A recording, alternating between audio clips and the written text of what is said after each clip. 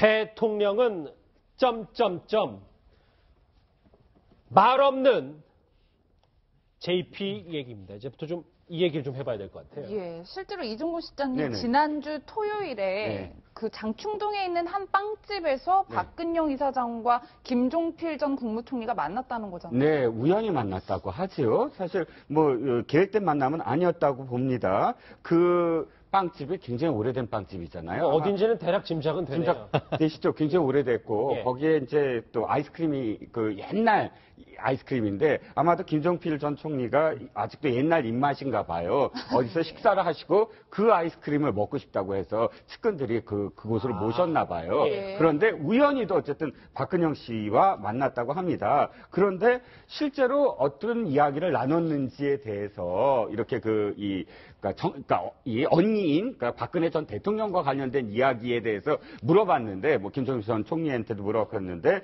그런 내용이 실질적으로 없었다. 뭐 이렇게 지금 잡아떼고 있어요. 그냥 뭐 놀러 와라든지 그런 그런 어떤 이야기로만 뭐 전해지고 있습니다. 그런데 예. 사실상 없었겠습니까? 사촌 형부고 하는 아, 진짜 정책 적 얘기 안 했을 수 있지 않습니까? 아니요, 그렇지. 근데 김종필 전 총리 같은 경우는 그럼에도 불구하고 박근영 씨와 일치하는 어떤 부분이 있을 거예요. 박- 김종필 전 총리도 사실은 최태민 일가에 대해서는 너무나 잘 아는 그런 위치에 있었고 또 박근영 씨도 어떤 의미에서는 지금은 형님 형님 그러면서 그이 지금의 어떤 그런 그 순교라고 표현을 하지만 그럼에도 불구하고 같은 가족끼리 나눌 수 있는 이야기, 은밀한 이야기가 분명히 있었을 것이다 라는 추측이 가능하죠. 김종필 전 총리는요, 과거 김기춘 전 실장에게 박 전 대통령에 대한 당부의 말을 남기기도 했습니다. 그 목소리 오랜만에 집중해서 들어보시죠.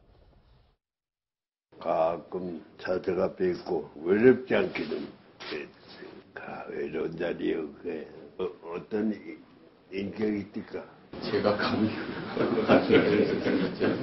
마음은 그래서 다잘 모시려고 그런 마음을 가졌습니다. 아버지 어머니 성격 좋은 거 반반 반씩 다 차지해서 결단력도 있고 판단력도 있고 애국심 그 자체가 나라 생각밖에 없는 분이십니다. 그러니까 저 때는 부모님의 반반 좋은 거 닮았다고 했는데 나중에 어떤 한 언론과 인터뷰에서는 또 전혀 반대되는 얘기를 했었잖아요. 그렇지 않았다고. 물론 뭐 그렇죠. 민영선 원장님. 근데 파면에 이어서 이제 구속영장 청구 이제 검찰이 얘기한 것, 김종필 전 총리. JP는 이걸 어떻게 바라보고 있을까요? 우선 그 착잡하고 굉장히 안타깝고 또 이제 박근혜 전 대통령의 그 품성이랄까 성정에 대해서는 누구보다도 JP 전 총리께서 잘 알고 계시기 때문에 또 일전에도 그런 말씀 하셨지 않습니까? 5천만이 다 물러나라고 그래도 안 물러날 사람이라고. 맞아요. 그랬어요. 근데 정말 그 말대로 됐지 않습니까? 그런 측면에서 아무튼 그 아버지 어머니 때부터 쭉 가깝게 아는 또 실질적으로 형부입니다. 형부, 사촌 형부. 그렇기 때문에 굉장히 잘할 것서 우선은 굉장히 그, 그 가족, 그 친인척 관계로서 착잡하고 안타깝고 그렇고 정치적으로 봤을 적에는 왜 우리 대한민국이 이런 부분을 갖다가 그 자꾸 전직 대통령들이 이런 그 고통을 겪게 되는 이런 상황 속에서 정치적으로 그 매끄럽게 타결을 하지 못하라는 못하느냐라는 그런 어떤 정치력의 부재 이런 부분을 JP 전 총리가 좀 아쉽게 생각하지 않을까 하는 생각을 하면서도 아무튼 박근혜 전 대통령의 처신에 대해서는 높은 점수를 주진 않을 것 같습니다. 처신에 예. 대해서 높은 점수 안 준다. 그런데 박근영 씨랑 김종필 전 총리가 만나서 정치적 얘기는 전혀 안 했다고 하는데 네. 뭐 아무래도 시국이 민감하니까 뭐 얘기를 안 할 수도 있겠지만 뭐 안 나올 수 있었을까 또 이런 생각도 들어요. 근데 아마 이제 그날이 보면 태극기 집회를 참가하고 박준홍 씨 같은 경우는 이제 그 이 박정희 대통령의 형인 박상희 씨의 이제 유복자거든요.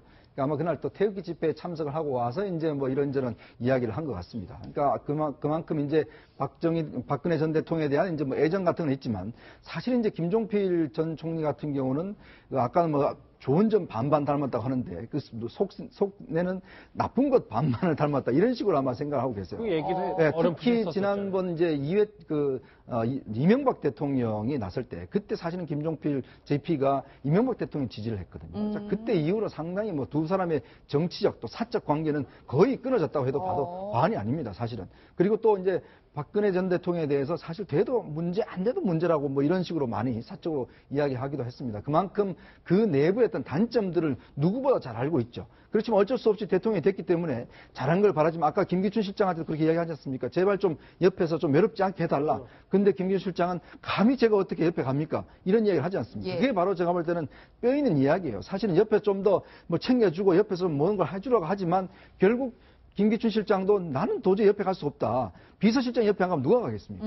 이제 저런 이야기에서도 비춰지듯이 그만큼 대통령이 비선 실세에서 많이 좌우됐기 때문에 결국 이런 불행한 결과가 나오고 있는 것 같은데 아마 JP는 이런 상황을 좀 알았을 거예요. 음흠. 근데 저 지금 자막에도 나오지만 어, 제가 세 번 말씀 들으니까 드는 생각이 JP가 일부러 좀 이 정치적 언급, 그러니까 박 전 대통령에 대한 여러 가지 얘기를 안 한 것 같다는 생각도 들어서요. 아니 근데 이제 그 사실은 탄핵 전까지에 박 전 대통령과 JP 전 총리의 관계가 보면은 그런 방금 그 이현정 의원께서 말씀하셨지만은 아주 매끄럽거나 아주 그 친밀하고 그런 관계는 아니었습니다. 지인적 관계에도 왜냐하면은 그게 사실은 그 박정희 전 대통령, 박정희 전 대통령이 유신 말기 때 이 그 JP 전 총리가 박정희 전 대통령하고 사이가 좀 소원한 관계 속에서 자꾸 최태민 씨하고 관계 속을 관계를 많이 지적을 했거든요. 그러면서 전 총리가 사실은 아주 오래전이지만은 아주 친한 기자들에게는 그런 얘기를 많이 하셨어요. 아무튼 최태민 씨가 그 청와대만 큰정회하고 청와대에서 만나기만 하면 몇 시간이고 나오지 않는다. 둘이 도대체 뭘 하는지 를 모르겠다 하면서 굉장히 염려하는 얘기를 그 출입 일선 기자들한테도 굉장히 얘기할 정도로 굉장히 걱정하고 그랬는데 특히나 이제 신군부 이후에서는 전두환 신군부 세력에서는 상당히 가치 고초를 측면도 겪어야겠지만은 예. JP 총리가 자민련을 차, 차리면서부터는 사실은 또 관계가 아주 좋지는 않았거든요. 그런 측면에서 지금 이렇게 썩 이렇게 관계 좋아하지 않을 건데 박근혜 대통령이 된 뒤로 이제 김정필 전 총리의 부인이 돌아가실 적에 박근혜 전 대통령이 현직 대통령으로 조문을 했지 않습니까? 예. 그때 상당히 많이 그 눈 녹듯이 녹았다고 할까요? 조문 정치에서 상당히 그런 건 있지만 아주 좋은 관계는 아닙니다. 이 측근들, 특히 이제 친인척들이 박 전 대통령의 불명예를 바라보는 시선들을 봤는데 JP에서 이분도 또 한마디 했습니다. 목소리 들어보시죠. 그거는 정치적인 타살이다. 감히 그렇게, 말씀을 드리겠습니다. 어제 헌재에서 내리신 인용 결정에 대해서는 자유 대한민국을 위해서 어, 흘리신 순교의 우리 형님 대통령의 순교의 피다. 대통령 전이시나 대통령 되신 후나 또 그만두시고 사회적으로 나오시더라도 그, 그거 다 아시잖아요. 그, 어, 국가와 국민, 이 민족, 예, 참 아마 그것이 아버지가 되실 때 감수성 예민할 때 그 아버지 그 경랑의 6, 70년대를 겪으시는 그 정서가 그대로 가는 것 같습니다. 네, 뭐 정치적 타살로 순교했다 이런 취지의 이야기를 하고 있는데 순교라는 게 사실 뭐 신앙을 위하여 목숨을 내놓다 뭐 이런 뜻인데 굳이 이런 이야기를 계속하는 이유가 뭘까요? 음, 지금으로서는 본인들이 그 표현할 수 있는 가장 적합한 단어를 순교라라고 생각을 했는 것 같습니다. 한마디로 예. 순교는 뭐겠습니까? 결국 본인의 그 신념에 따르다가 그, 그 신념과 배치되는 어떤 그 정파로부터의 어떤 탄압을 당했고 그로 인해서 사망했다는 거 아니겠습니까? 마치 우리 일반적인 순교를 얘기를 할 때 기독교에서 이제 그 예수 그리스도가 그, 어, 그 잘못된 사실을 가지고 이렇게 재판을 받아서 사망했고 결국 그, 그 했다는 그 의미인데 결국 본인들로서는 지금 이와 같은 전국 속에서 정치적인 타살을 당했다라고 얘기하는 것이 본인들로서는 해석이 될 수밖에 없는 상황이 아니겠습니까? 그리고 이렇게 얘기하는 것이 사실 그 가족들이 결론적으로는 물보다 피가 진하다는 것을 이번에도 알 수가 있는 것이 그간 유경재간 운영을 두고 서로 갈등했다라고 하지만 그 자기 누님 보- 본인은 누나라고 얘기 언니라고 얘기를 하지 않고 형님 내지는 VIP라고 하는데 가장 어려울 때 그래도 나서서 저와 같은 얘기를 하는 것이 어쨌든 가족과 그 어떤 그 정치적인 입장을 같이 하는 입장에서는 순교라고 표현할 수 있, 겠죠. 다만 어, 일- 일단 헌법재판소에서 탄핵을 했는 이상 그와 같은 것에서는 객관적으로 어떤 인정된 것과 본인들이 느끼는 것은 저렇게 큰 차이가 있지 않나 싶습니다. 근데 이종우 실장님, 네.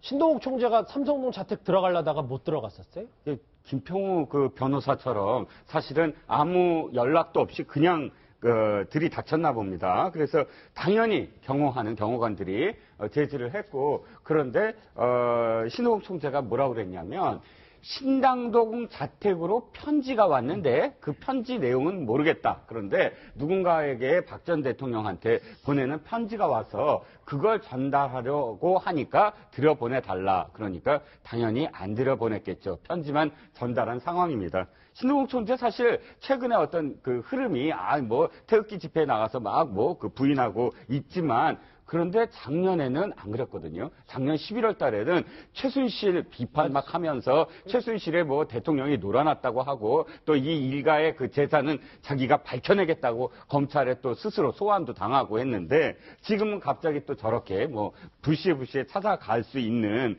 그런 어떤 뭐 상황인가 봅니다. 예, 글쎄요. 정작 진짜 가족인 뭐 박지만 씨나 박근영 씨는 가만히 있는데 신동욱 총재가 이러는 걸 보면 좀 성급하다는 생각도 들고요. 의도가 뭘까 뭐 이런 궁금증도 드는데요. 그러니까 자꾸 이제 신동욱 씨나 또 박근영 씨도 그렇지만 저렇게 하는 것이 제가 볼 때는 상당히 좀 본인들의 정치적인 이런 입지. 신동욱 총재 같은 경우는 지금 뭐 공화당이라는 당을 지금 하고 있지 않습니까? 그 공화당 홈페이지 들어가 보시면 박근영 씨가 명예 총재가 돼 있고 그 신동욱 씨가 총재가 돼 있습니다.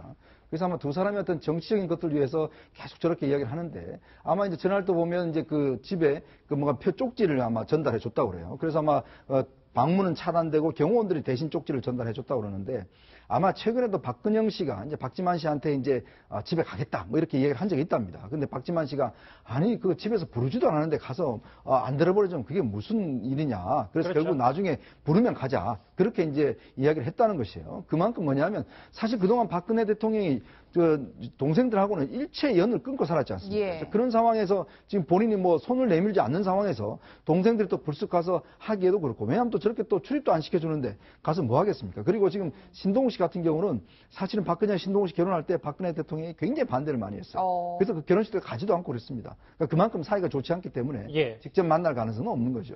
그러니까 박 전 대통령이 저렇게 동생과 여동생 자매를 저렇게 멀리하게 되는 게 도대체 왜 그럴까? 그리고 뭐길래 무슨 이유 때문에 저렇게 최순실 씨한테 저렇게 가깝게 모든 담장의 경계를 높여서 할sức할 적에 그 조순재 씨 아들, 그러니까 그 최순실 씨 조카되죠. 조순실 씨 아들 지금 최근 증언도 나오는데 우리는 잠자는 게 종교적 관계가 아니면 도저히 이렇게 해결 해석을 할 수가 없다라는 그런 의혹이 많이 나왔습니다. 결국에는 최태민 씨하고 최순실 씨하고 박 전 대통령하고 이어지는 종교적 연대감이 오늘의 이 사태를 불러일으킨 근원이 아닌가라는 그런 의문이 많이 제기되어 있는 상 태예요. 삼성동을 중심으로 한 박근혜 전 대통령 오늘 소식을 집중적으로 얘기를 해봤습니다.